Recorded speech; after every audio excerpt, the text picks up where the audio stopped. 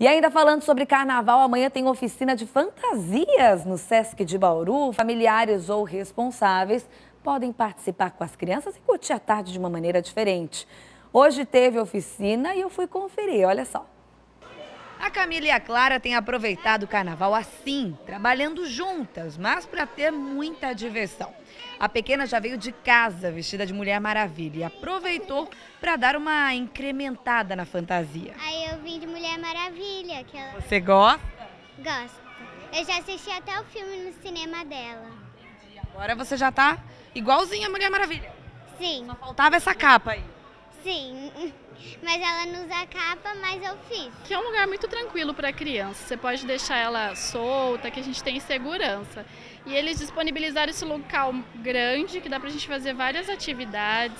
Dá para deixar ela fazer a fantasia dela. É super tranquilo e muito legal. E os pais, no caso você, né? Todo mundo se diverte junto. Isso, é uma forma também da gente poder participar junto da criança, estar tá junto com ela. É muito legal, né, Clara? Essa criançada toda aqui está participando da oficina Fantasias Fantásticas, que está sendo realizada pelo SESC de forma gratuita.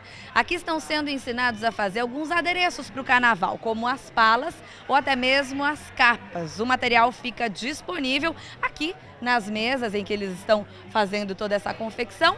E aí é só usar a criatividade. Essas oficinas a gente faz todo o carnaval, elas já são típicas aqui no Sesc, né? São abertas para a família e as crianças chegam, a gente propõe dois, dois adereços, né? Ou a pala ou as asas. E aí depois que ela faz esse molde mais geral, elas se estilizam e colocam a criatividade que elas quiserem, o que elas preferirem, cores, etc. A Mayra ficou sabendo da oficina na programação do SESC e logo resolveu levar o filho e o amiguinho. Muito bacana, eu acho bem bacana a organização do SESC em geral, né? E essa é uma oportunidade da gente incrementar na fantasia deles pra gente se divertir. O Rafael, conta pra mim o que, que você tá fazendo aqui.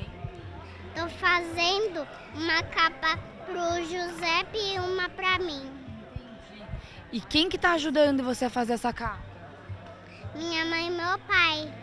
Tá legal? Sim. Cerca de 150 crianças devem participar da oficina no total. E nessa terça-feira de carnaval tem mais.